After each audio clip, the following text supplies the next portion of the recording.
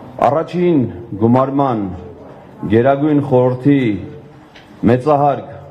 պատգամավորներ Հայաստանի Հանրապետության ազգային ժողովի 8-րդ գումարման մեծահարգ պատգամավորներ հարգարժան հյուրեր հարգելի լրագրողներ սիրելի հայրենակիցներ տիկնայք եւ պարոնայք այսօր Հայաստանի անկախության հռչակման օրն է։ 1990 թվականի օգոստոսի 23-ի այսօրը ձեր եւ ձեր մյուս գործընկերների ձեռքով իրականություն դարձավ հայ ժողովրդի դարավոր երազանքը։ Մեր ժողովրդի դարավոր սերունդների հերոսական զավակների նվիրումի, պայքարի, անձնազոհության արդյունքում Արցախյան շարժման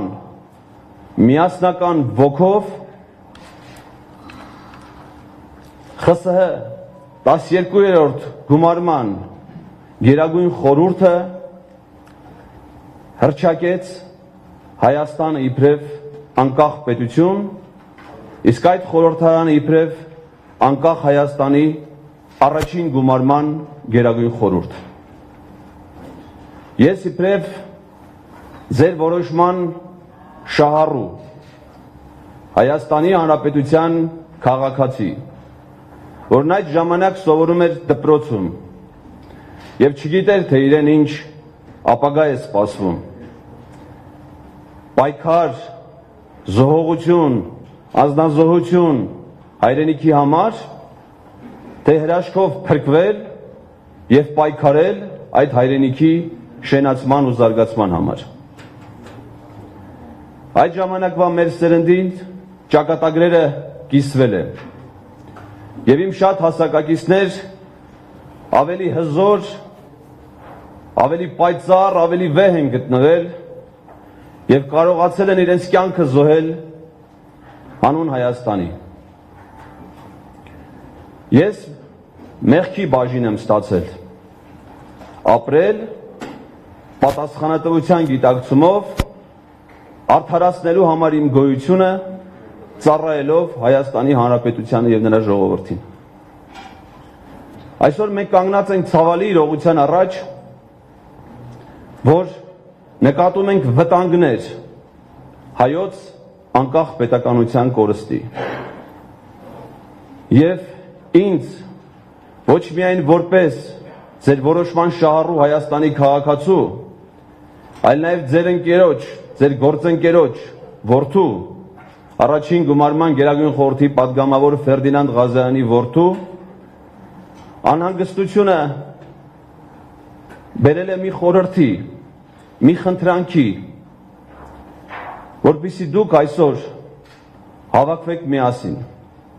Ես այդ նախաձեռնությունը հանդես չէի բերի, եթե ողջ լիներ Ֆերդինանդ Ղազարյանը։ Բայց ողջ է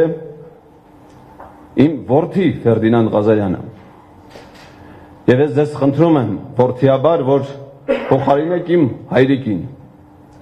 եւ տեր կանգնեք ձեր որոշմանը, փոխանցեք ձեր կերտած անկախ հայրենիքը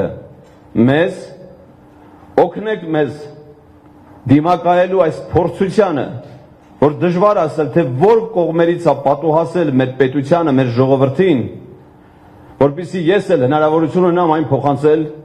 իմ որդուն Ֆերդինանդ Ղազարյանին։ Սա է եղել մեր նախաձեռնության ողջ տրամաբանությունը եւ հիմնավորությունը։ Այս նախաձեռնության մեջ քաղաքական բովանդակություն եւ իմաստ գոյություն չունի։ Առաջի գումարման Գերագույն խորհրդի падգամավորների ցանկը հիմա նայելուց տեսնում ենք մեր պետականության երևելի գործիչների, որոնք բնականաբար կյանքի բերումով եւ իրենց հարգարժան կյանքով մինչեւ 90 թվականը եւ նաեւ դրանից հետո ունեցել են կյանքի ճանապարհներ, տարբեր ուղություններ, տարբեր քաղաքական պատկերացումներ, բայց ես կարծում եմ այսօր պետք է իջեցնել բոլոր դրոշները Այսօր պետք է գետնին դնել բոլորիս շահերը եւ բարձրացնել միայն մեկ դրոշ Հայաստանի Հանրապետության պետական դրոշը եւ առաջնորդվել միայն մեկ շահով Հայաստանի Հանրապետության պետական շահով։ Գլուխս եմ խոնարհում ձեր արչեւ ձեր կայացած որոշման համար։ Եվ շնորհակալ եմ բոլոր նրանց, ովքեր այսօր այս դահլիճում են։ Շնորհակալ եմ նրանց, ովքեր որ դրական վերաբերմունք են արտահայտել, սակայն տարբեր պատճառներով չեն կարողացել գալ։ Ես դա շատ լավ եմ հասկանում, որովհետև կան падգամավորներ, որ ունեն նաև առողջական խնդիրներ, որոշ падգամավորներ դուրս են գտնվում Հայաստանից, շատերը զանգելով այդ ձևով են արել։ Ցավոք սրտի մենք ունեցել ենք նաև լուրջ կազմակերպական դժվարություններ մեր արժեվ ստեղծված վերջին օրերին մեզ դալիճներ չտրամադրելով այս ազնիվ նախաձեռնությունը կյանքի կոչելու համար։ Մեզ մերժել են տրամադրել Մելիք Ադամյան փողոցի կառավարական մեկ դահլիճը, որտեղ ընդունվել է անկախության հռչակագիրը եւ կազմակերպվել են Գերագույն խորհրդի նիստերը։ Անմիտ պատճառաբանությամբ։ Մեզ վերջին պահին մերժել են մասնավոր տարածք արդեն այն պահին, երբ որ բաժանվում էին, բաժանվել էին բոլոր հրավիրատոմսերը։ Կազմակերպական պատասխանատվությունը ստանձնած մարդիկ որոնց զավակները ծառայում են պետական կառավարման համակարգում, վերջին պահին հրաժարվել են իրենց հանձնառությունից տեղեկացնելու շատ падգամավորների կամ նիստի կազմակերպման վայրը։ Ամեն գնով փորձում են մեզ անհարմարության մեջ դնելով նեղություն պատճառել նաև ձեզ։ Ես ներողություն եմ խնդրում ձեզնից մեր հանդեպ իրականացված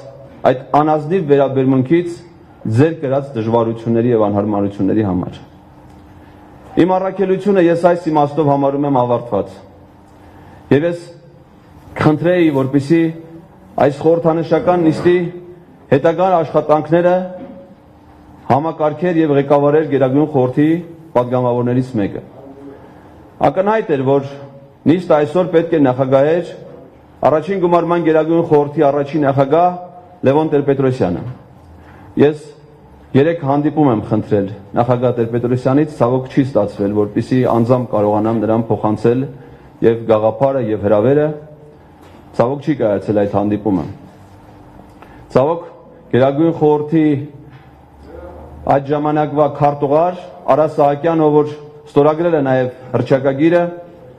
վատառողջ հենց 3 ունեցել առողջական խնդիրներ, չնայած մեծ մեծապես օգնել է այս նիստի կազմակերպման